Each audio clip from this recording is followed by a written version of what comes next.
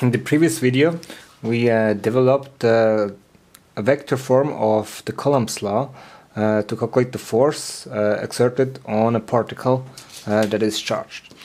Now, let's do an example of this. So let's assume we have a coordinate system with x and y axis with uh, magnitudes in meters. We have a charge q1 of 10 microcoulomb placed uh, here. We have a charge of minus 2 microcoulombs placed here and a charge of 5 microcoulombs placed here. Now question 1 will be uh, calculate the force as a vector uh, exerted by Q2 on Q1. And B we will ask what is the force calculated by Q3 on Q1 and in C we want to know the net force uh, on Q1 and D we can make a little sketch, a little free body diagram of all the forces on Q1 to see if the solution we obtain in C actually seems to make sense. So let's start with A if we want to use the formula uh, electrostatic constant times the two charges divided by distance square multiplied by the unit vector uh, in the direction from q to 1 we need uh, this vector. Well if you look here from q to 1 it is minus 2 in x direction minus 2 in y direction so minus 2i minus 2j meters uh, the magnitude of it will just be the square root of 8 meters.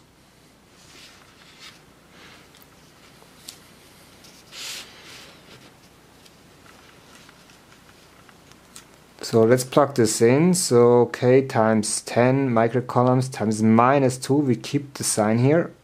We don't do the absolute values. Divided by squared, the square root of 8 is 8 uh, meters squared, times R21 divided by its magnitude.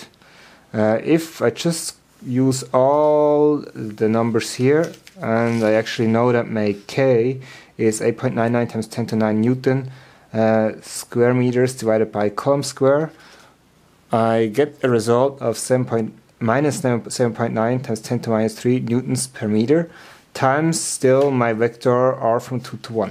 If I multiply that in, I get the final result.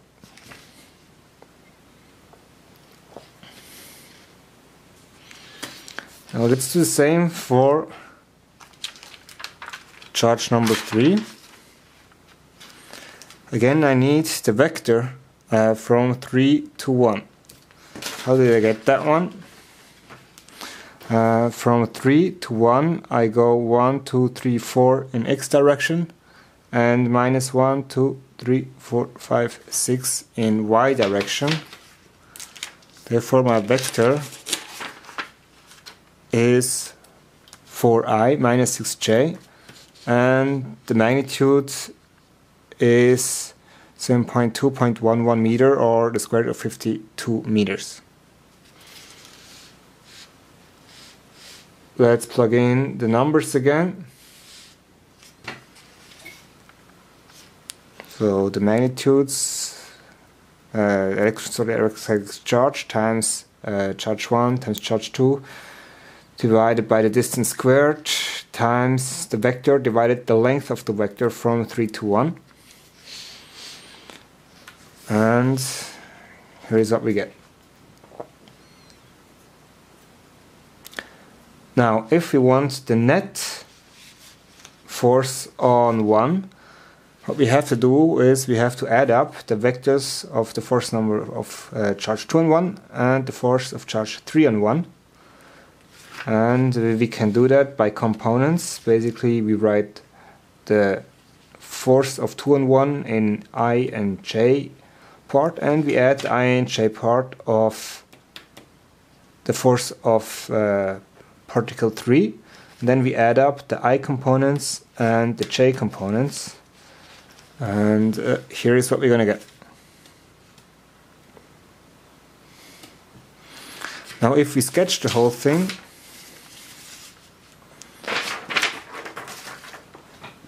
force from 2 on 1, 2 is actually uh, attracting 1 as they have opposite signs. So 2 is attracting, uh, attracting 1 in that direction. So you can put that somehow like this in a little sketch. Force uh, of 3 on 1. Uh, 3 and 1 have the same signs, so they will repel. So they will actually repel somewhere like down here. So here we had attraction, here we had repel. And if you look at the magnitudes, the magnitude of force of 3 on 1 is much smaller.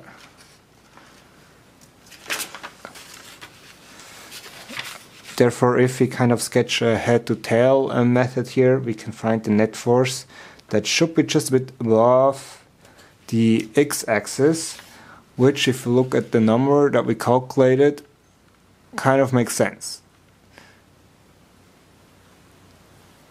The major part goes in the direction of the x-axis, then just a tiny bit upwards.